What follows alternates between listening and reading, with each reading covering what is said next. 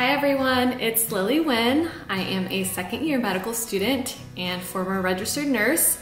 I know I haven't been posting videos in the past couple of months. It's been really busy in my second year of medical school. I'm also training for a 50K next week that I'm running. So um, yeah, I've not had a lot of time to make YouTube videos, but in the last several months, you have all sent me so many comments and questions about the journey from nursing school to medical school. So I wanted to take the time to answer all of those questions. There's a lot to cover, so let's get started.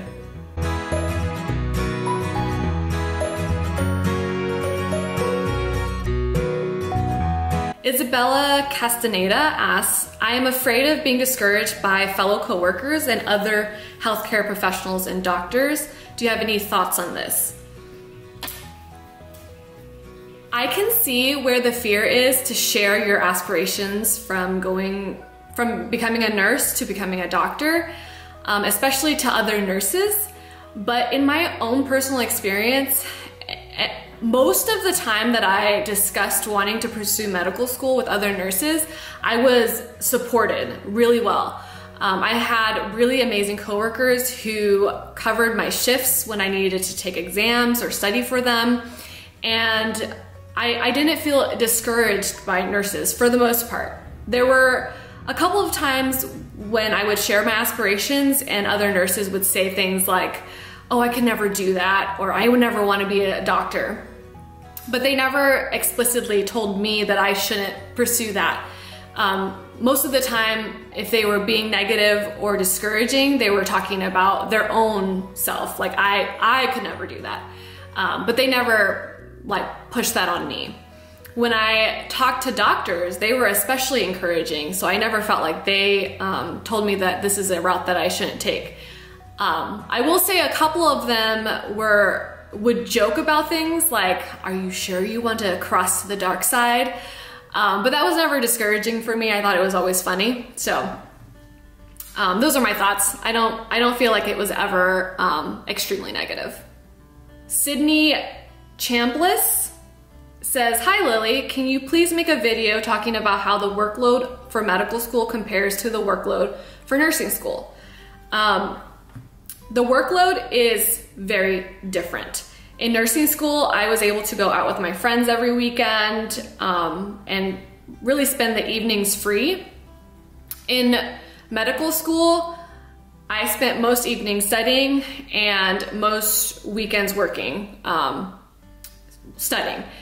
Because the sheer amount of information in medical school is so much more than what I learned in nursing school that I had to spend a lot more time with the with the material to actually comprehend it and um, be ready for exams.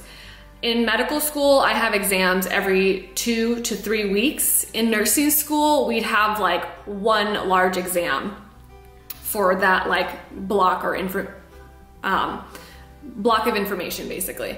So I'm, I'm definitely studying a lot more in medical school and the information is a lot more um, detailed.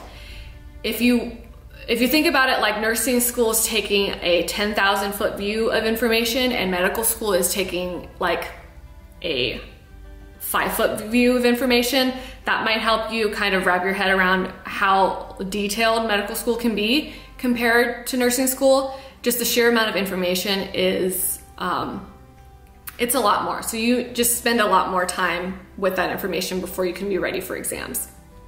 Puranka Betty asks, is this really possible to become a doctor after nursing? Could you please guide me and give me coaching? Yes, it's possible. I'm here.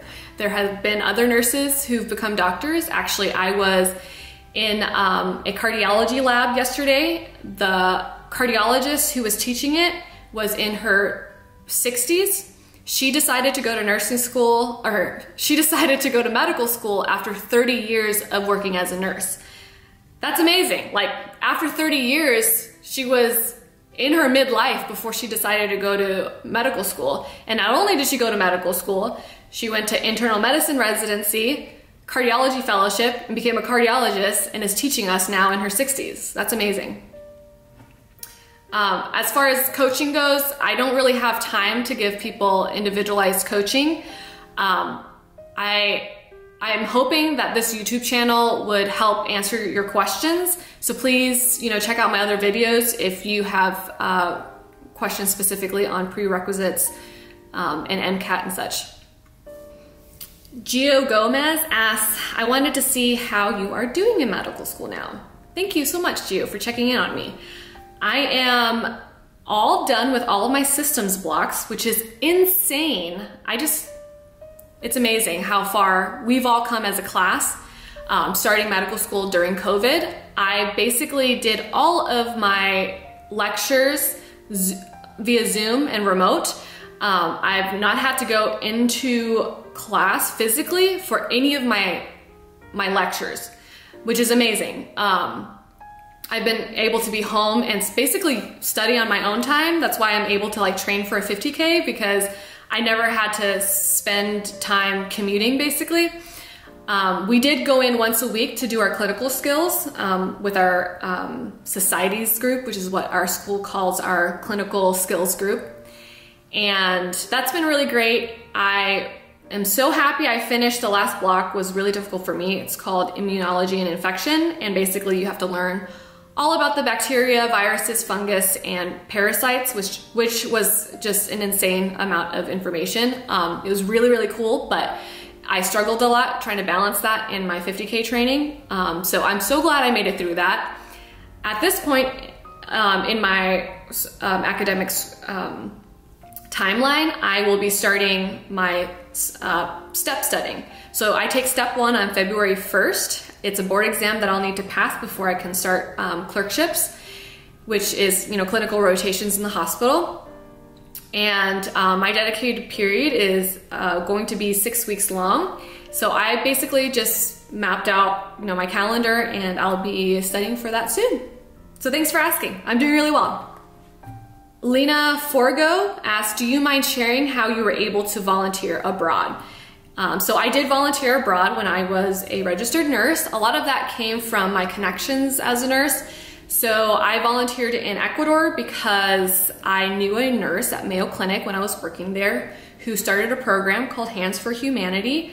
Um, they're at handsforhumanity.com if you ever want to check them out and volunteer with them. They go to Ecuador twice a year. I'm not sure how things are going with COVID, but um, they do go twice a year and they um, run primary care and women's health clinics in Ecuador. I found out about the Dominican Republic by another nurse um, that I worked with in the uh, cath lab. And she and I actually went together to do um, post operative care for a lot of the surgical patients that we worked with in the Dominican Republic. That program was called um, Midwest Medical Missions. Um, I'm not sure if they have a website, but that's just something that I found out through um, networking.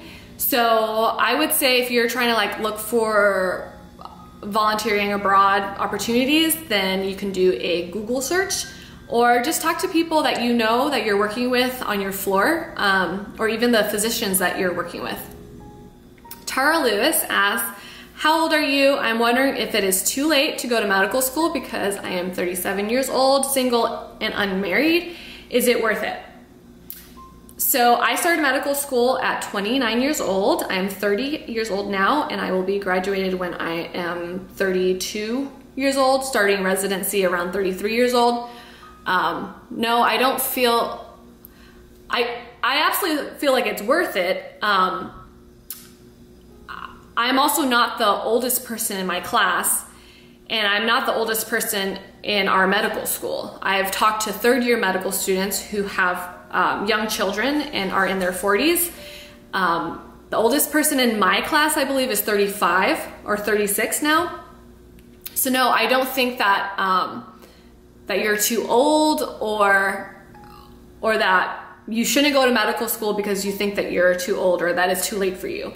Um, like I mentioned earlier about that uh, cardiologist who started medical school in her midlife, like that's amazing. If you feel like this is the route that you want to take, this is the career that you want, it is not too late. Um, definitely go for it.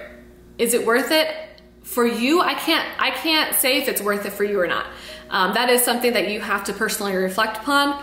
For me, it absolutely was. I feel like I am in the exact place that I need to be in my life right now. I love that I have the five years of nursing um, experience to draw upon from my past and that I'm in medical school at the time that I am right now. Catherine Kai asks, so for your um, recommendation letters and references, did you use MDs you were working with when you were doing nursing?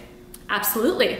As a nurse, you have all of these physicians all around you that you're working with to help you network, to help you get shadowing experiences, and that know your work ethic. So I absolutely asked them to write my recommendation letters, and they wrote me really great ones. So I, I think that you should definitely use them as a resource. Um, tell them that you're uh, looking into applying to medical school, and they will help you. I feel like all of the physicians that I worked with let me shadow them, wrote me letters, and um, were very encouraging and supportive. Anjali Nair asks, would the duration of medical school be reduced to three years with your prior experience um, as a nurse? No, it will not. Medical school is four years long. Your nursing school um, and nursing experience will not reduce your amount of time that you need to be in medical school. Manjo Jakes asks, I will be 29 by the time that I matriculate. Are some of your classmates non-traditional students and around the same age as I? Yes, like I said, I was 29 when I started. Um, there are so many non-traditional students now, and if anything, your non-traditional background will make you a stronger applicant and more interesting because you have a lot of uh, real life experience that you can apply and draw upon when you're answering interview questions. Um, so yeah, absolutely. I think that um, it, it will be a strength for you. Alexandra Loana asks, I am a 19 year old um, and I will be a student of electronic engineering and telecommunications, but in my soul, I know that medicine is the thing I want to do every day until the end of my life. Is it too late to start medicine next year? It's not too late. It's not too late. Especially if this is your passion, you want and envision yourself doing this until the rest of your life, go for it. What are you afraid of? Just do it. Jassy asks, I am a nursing student in Ohio with a long-term goal of, of being a medical doctor too. I'm currently in an accelerated nursing program. I went to a community college before where I took some nursing prerequisites and then transferred. Um, I hope that I am on the right track. Do you have any advice for me? You're on the right track. I mean, if you want to um, be a nurse and get some work experience before you apply to medical school, I think that's a great way to go. Um, being in an accelerated, accelerated uh, program too will um, help you kind of get there faster. So that's great. Keep doing what you're doing. Um, then start taking prerequisites for medical school uh, study for the MCAT, take the MCAT, apply for medical school. It's a long process, you know, you just gotta stay committed and um, you can do it. You're on the right track. Zane Z asks, how did you choose to go the MD route instead of becoming an NP? I think this is such a hard question for me to answer, mainly because I don't want to offend anybody. Ultimately, my decision to go to medical school um, culminated from my experiences volunteering abroad. When I was volunteering as a nurse, I felt like a lot of the impact that was being made um, was from the medical doctors who were performing the surgeries and performing the pap smears and um, coming up with the treatment plans and diagnoses for the patients. I felt like that's what I wanted to do and I wanted to be in their shoes. Um, as a nurse, when I was volunteering, I was taking vitals, I was rooming patients, and I just wanted to make uh, more of an impact. And I know that nurse practitioners can do the same, but I also wanted a deeper um, and more thorough education. I wanted to be able to go to four years of medical school. I wanted the education that I would get from a residency program. So I just wanted to come out on the other end having a deeper and more breadth of knowledge um, of pathophysiology and medicine. So it was a very personal decision for me um, and people who are deciding between going the MD route and the NP route really need to weigh their um, their pros and cons for their own lives. Um, I have the time, and I wasn't. Um, I'm not going into medical school with a ton of debt or anything like that, and I also got a tuition scholarship. So I know that there is privilege in where I'm coming from to choose this route. And I know that not everyone has the time or means to be able to um, commit to four years of medical school and then residency training. Um, so it was a personal decision for me.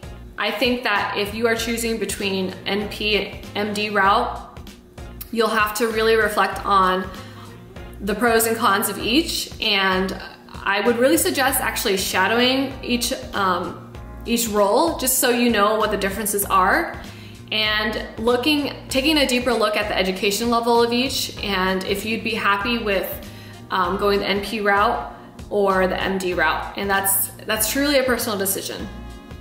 All right, that's all the questions I'm going to answer in today's video. If you have more questions, just drop them in the comments. I will try to get to them when I can, but as you know, I am going to be starting my dedicated period to um, prepare for my step one exam.